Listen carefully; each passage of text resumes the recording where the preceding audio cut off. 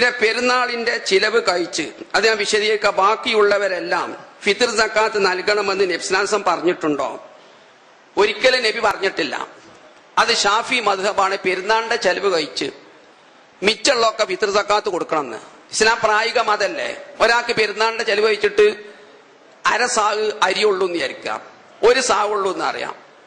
അതങ്ങോട്ട് കൊടുത്തു കഴിഞ്ഞാൽ പിന്നെ ഇപ്പം പട്ടിണി എടുക്കൽ തെണ്ടേണ്ടി വരൂലേ അങ്ങനെയൊന്നുമില്ല കാരണം വിതൃതാക്കാ തിരിച്ചു തന്ന നമുക്ക് വാങ്ങാന്നർത്ഥം പക്ഷെ തിരിച്ചു തരികയല്ല തന്നോൻ തന്നെ തിരിച്ചു കൊടുക്കുകയല്ല വേണ്ടത്. നബി പറഞ്ഞപ്പോ ഞങ്ങളൊരു പത്ത് ലിറ്റർ വിതൃതാക്കാത്ത് കൊടുത്ത് എന്നിട്ട് കൊടുത്ത ശേഷം കമ്മിറ്റിക്കാർ നിങ്ങൾക്ക് തിരിയണമെങ്കിൽ വാങ്ങാം. പക്ഷെ വാങ്ങല്ല വേണ്ടത് കൊടുത്തവൻ തന്നെ തിരിച്ചു കൊടുക്കല്ല വേണ്ടത്.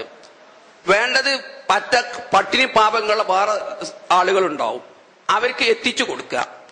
അല്ലാതെ തന്നോൻ തന്നെ തിരിച്ചു വാങ്ങുക എന്ന് പറഞ്ഞത് ശരിയല്ല. പക്ഷെ അങ്ങനെ തരികയാണെങ്കിൽ വാങ്ങാന്ന് മാത്രമേ ഉള്ളൂ. അപ്പൊ തിരിച്ചു കിട്ടുന്ന ഉറപ്പൊന്നുമില്ലല്ലോ. അപ്പൊ പട്ടിണി അടക്കുന്ന നിലക്കൊരു ദാനധർമ്മം ചെയ്യാൻ ഇസ്ലാം മതം പറഞ്ഞിട്ടില്ല എന്നർത്ഥം. അത് ഷാഫി മതബിന്റെതാണ്